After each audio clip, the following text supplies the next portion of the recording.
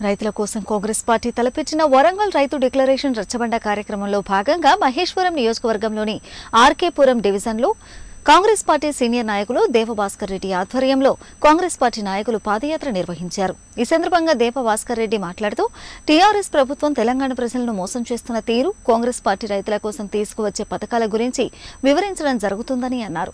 కాంగ్రెస్ ప్రభుత్వం ఏర్పాటైన వెంటనే రెండు లక్షల రూపాయల రైతులకు ఏకకాలంలో రుణమాఫీ రైతు బంధు కింద పదిహేను వేలు కౌలు రైతులకు పదివేలు రైతు పనులు ఉపాధి హామీ కూలీలకు అనుసంధానం చేస్తూ సంవత్సరానికి పన్నెండు వేలు ఇస్తామన్నారు. ప్రజలకు తీవ్ర ఇబ్బందులు కలిగిస్తున్న ధరణి పోర్టల్ను ఎత్తివేస్తామని అన్నారు. ఎన్టీఆర్ నగర్లో డ్రైనేజీ వాటర్ సమస్య తీవ్రంగా ఉందని మంత్రి సబితా ఇంద్రారెడ్డి స్థానిక కార్పొరేటర్ రాధా ధీరజ్ రెడ్డి పట్టించుకోవడం లేదని ప్రజలు తమ దృష్టికి తీసుకువచ్చారని అన్నారు. రైతులు బ్యాంకు రుణాలు ఎవరు చెల్లించవద్దని కాంగ్రెస్ ప్రభుత్వం వచ్చాక మేమే చెల్లిస్తామని అన్నారు. ఈ కార్యక్రమంలో కాంగ్రెస్ పార్టీ నాయకులు కార్యకర్తలు తదితరులు పాల్గొన్నారు.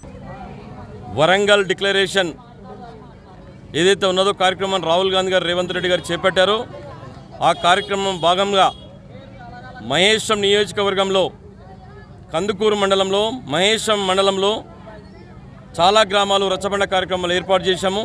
అందులో భాగంగా ఈరోజు రామకృష్ణాపురం డివిజన్లో ఎన్టీఆర్ నగర్లో ఏర్పాటు చేయడం జరిగింది. మరి రచ్చబండ కార్యక్రమం ద్వారా కాంగ్రెస్ పార్టీ ప్రజల వద్దకు మేము వెళ్తున్నాము. ప్రజలందరూ కూడా చాలా ఆదరిస్తున్నారు మమ్మల్ని. మరి రచ్చబండ ద్వారా ప్రజా సమస్యలు కూడా తెలుసుకోవడం జరుగుతున్నది.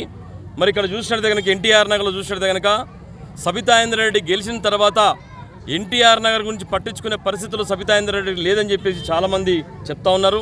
అదేవిధంగా స్థానిక కార్పొరేటరు ధీరజ్ రాధా కూడా మేము చాలా రోజులే ఇక్కడ రాక అని చెప్పేసి చాలామంది పబ్లిక్ చెప్తున్నారు ఇక్కడ వాటర్ సమస్య ఎక్కువ ఉన్నది డ్రైనేజ్ సమస్య ఎక్కువ ఉన్నది అదేవిధంగా రచ్చబండ ద్వారా అన్ని విషయాలు మేము తెలుసుకున్నాం ఇక్కడ. రేపు ఎల్లుండో మళ్ళీ ఎన్టీఆర్ నగర్ కూడా పర్యటించాలనుకుంటాము ఇదేమైనప్పటికీ కూడా రచ్చబండ కార్యక్రమంతో మేము ప్రజలందరికీ చెప్పడం జరుగుతున్నది. ఏదైతే రైతు రుణమాఫీ కింద రెండు లక్షల రూపాయలు మాఫీ చేస్తామని చెప్తున్నాము మా ప్రభుత్వం వచ్చినాక అదేవిధంగా ప్రతి రైతుకు సంవత్సరానికి పదిహేను వేల రూపాయలు వ్యవసాయం చేసుకోనికి ఆయన అకౌంట్లు వేస్తామని చెప్పేసి కాంగ్రెస్ పార్టీ చెప్తున్నది.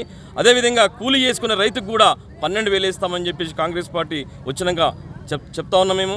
అదేవిధంగా ఒరేసుకున్నా కూడా గోధుమలు వేసుకున్నా కానీ సజ్జలు వేసుకున్నా కానీ ఏ పంట వేసుకున్నా కానీ రైతుకే మేము వదిలిపెడుతున్నాము.